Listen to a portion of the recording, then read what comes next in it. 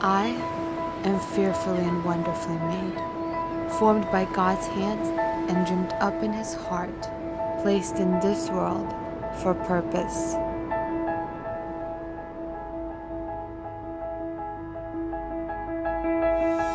I am a daughter of an almighty God, a daughter of a king who's not moved by this world, for my God is with me, and he goes before me.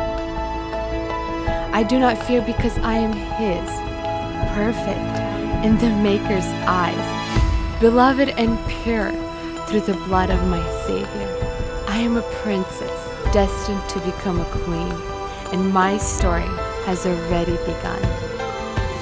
It's not fancy hair, gold jewelry, or fine clothing that make me beautiful. My beauty comes from within me, the unfading beauty of a gentle and quiet spirit. It is of great worth in God's sight. He will take great delight in me. He will quiet me with His love and rejoice over me with singing, because He said, I am clothed with strength and dignity. He called me to be fashioned for purpose.